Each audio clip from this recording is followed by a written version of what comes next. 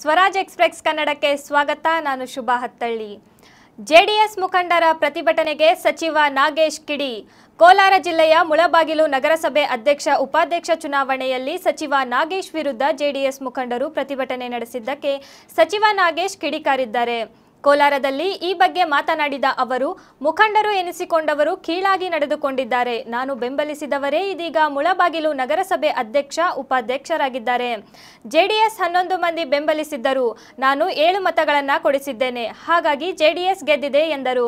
ಜೆಡಿಎಸ್ನ ಕೆಲವರೊಂದಿಗೆ ಮೈತ್ರಿ ಮಾಡಿಕೊಂಡಿದ್ದರು. ಅದು ಬೇಡವೆಂದು ಎಲ್ಲ ಮುಖಂಡರು ನನ್ನ ಬಳಿ ಬಂದಿದ್ದರು. ಹಾಗಾಗಿ ನಾವೇ ಗೆದ್ದಿದ್ದೇವೆ ಎಂದರು.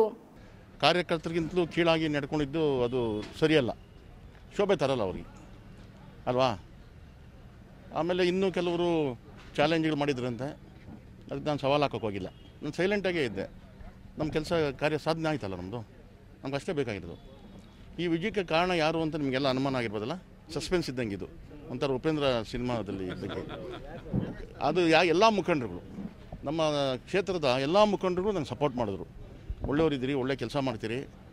ಬೇರೆಯವ್ರ ಕೈಗೆ ಚುಕ್ಕಾಣಿ ಕೊಟ್ಟರೆ ಹೋಗುತ್ತೆ ಈಗಾಗಲೇ ಕೆಟ್ಟೋಗಿದೆ. ನೀವು ಬಂದು ಸರಿ ಮಾಡೋ ಒಂದು ಲೆವೆಲ್ ತಂದಿದ್ದೀರಿ. ಮತ್ತೆ ಹಿಂದಕ್ಕೆ ಹೋಗಬಾರ್ದು ಅಂತ. ಮನಸ್ಪೂರ್ವಕವಾಗಿ ಎಲ್ಲ ಮುಖಂಡಗಳು ನನಗೆ ಸಾಥ್ ಕೊಟ್ಟರು ಹಂಗಾಗಿ ಈಗ ನಾವು ಅಧಿಕಾರದಲ್ಲಿ ಚುಕ್ಕಾಣಿಗೆ ನನ್ನ ಬೆಂಬಲಿತ ಅಭ್ಯರ್ಥಿಗಳು ಗೆದ್ದಿದ್ದಾರೆ. ನನ್ನ, ಅವರು ಹತ್ತು ಜನ ಇದ್ದರು ಒಂದು ಇಂಡಿಪೆಂಡೆನ್ಸ್ ಹನ್ನೊಂದು ಇದ್ದರು ಹದಿನೆಂಟು ಆಗಬೇಕಂತ ನನ್ನ ಸೇರಿ, ಎಲ್ಲ ನನ್ನ ಕಡೆಯವರು. ನನ್ನ ಭಾಗ ಇದೆಯಾ?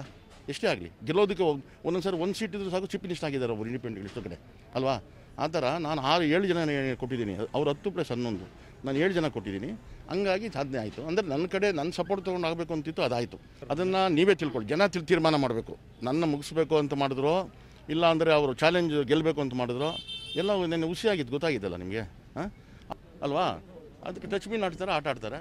ಆಗಲಿ ಅಂತ ನಾವು ಒಂದು ಇದೊಂದು, ನಾನು ಶುರು ಮಾಡಿದ್ದೆ, ನನ್ನ ಆಟ ನಾನು ಶುರು ಮಾಡಿದ್ದೀನಿ. ಎರಡು ವರ್ಷ ಆದಮೇಲೆ I started my own game ನಾನು ಕಾಲೇಜಲ್ಲೇ ಯೂನಿಯನ್ ಲೀಡರ್ ಆದವನು.